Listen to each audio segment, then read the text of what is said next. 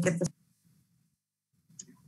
Hey, Frank, we saw that uh, LeBron and AD are both going to be out. Just uh, wondered kind of if you had any more about that decision pro- uh, decision process and how close they were to playing.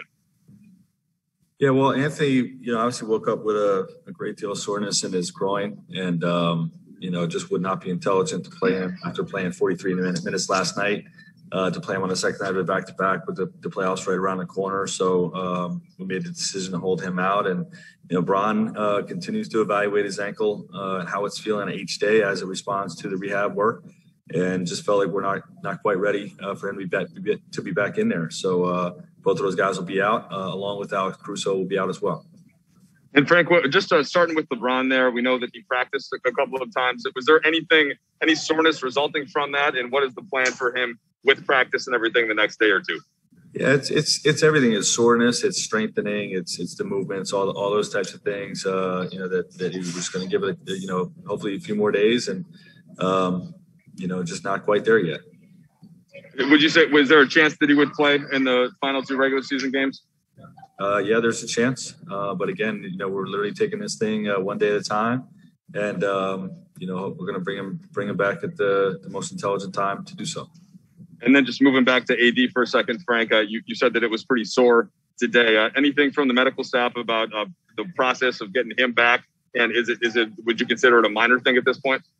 Definitely consider it minor. Um, you know, there's no uh, no injury, just just really tight, and um, you know, obviously, uh, you know, with with today and then two days off uh, from games. after today, you know, we have three days of an opportunity to to really put that behind him. Okay, Kyle Goon, please. Hey Frank, um, is it is it?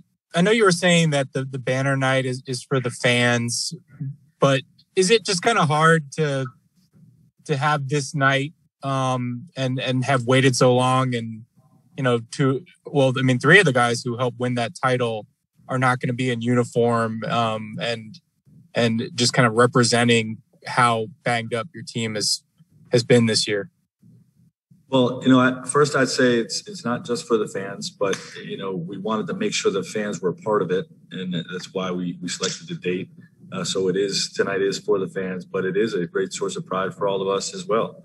And um, you know, to have some of those guys not in uniform, I mean, we we can't really uh, worry about things we can't control. Um, can't worry about us being in a pandemic and not having a parade and not being able to do this on, on opening night uh, of this season. Um, we're just all trying to make the best of a, of a tough situation and and not worry about the other stuff. You know, it's going to be a special night for all of us, and uh, looking forward to being a part of it.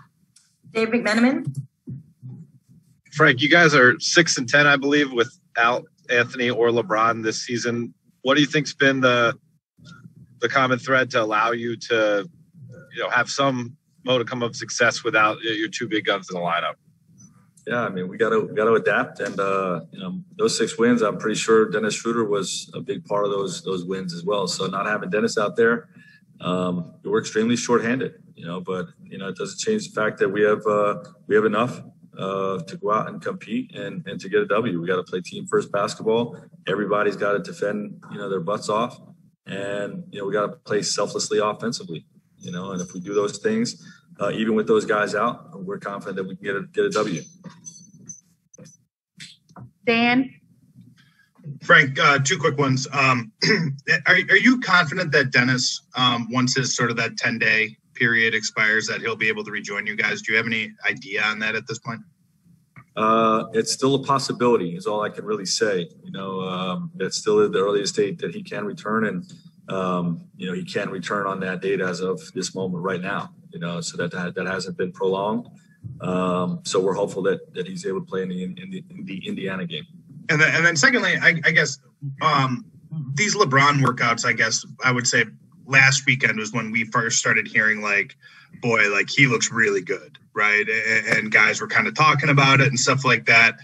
Um, obviously, I think the the news the last two days is maybe taken a little wind out of some some some of the sails about that. Has it has it dampened your optimism that he'll be where he needs to be by the start of the playoffs? Um, this kind of a little bit of a delay, I guess, if that's the right word for it.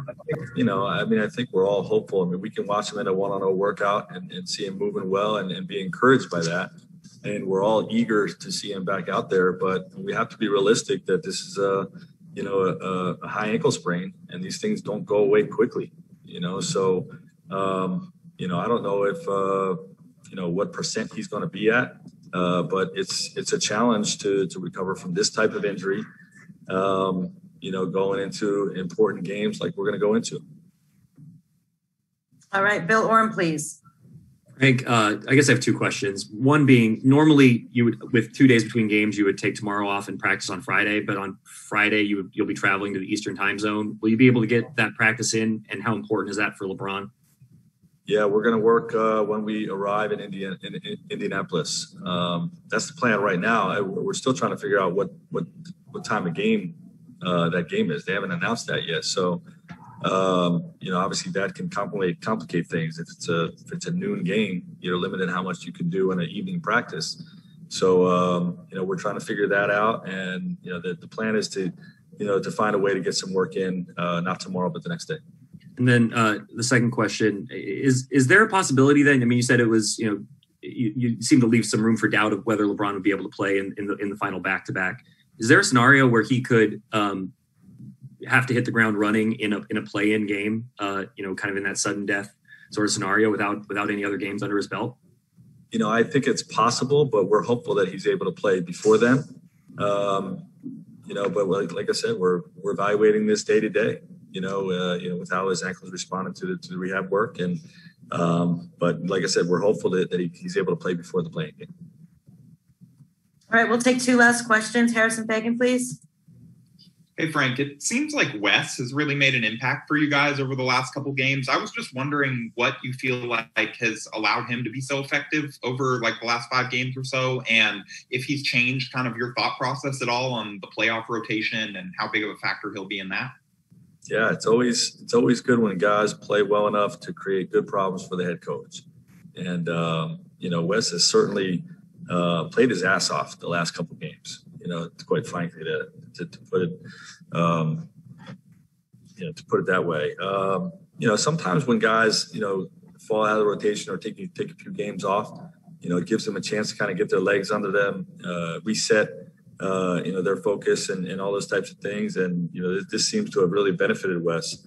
You know, he's uh, shooting the ball well, made the game winning play, and obviously to send it to overtime and give ourselves a chance to win last night um, has really competed his tail off on a, on a defensive end. Um, you know, so yes, he's you know like a lot of other guys, uh, making a real case to to be in a playoff rotation, and you know we've said all along we're going to need everyone. Okay, last uh, question. I think we have a follow up for Kyle Goon. Hey Frank, LeBron just doesn't get injured like this very often. He's only had one injury that that's bothered him this long. Um, I know you you've talked about having conversations with him, how he's feeling. Does that does any sense of frustration kind of seep through in that, or impatience, or anything like that to, to your ears? Uh, I, you know, I think he he wanted to be back, you know, uh, long before now. You know, but you know, obviously, uh, you know, you have to listen to your body, and you know, you, you know, guys have injuries and they have to be out. You know, so.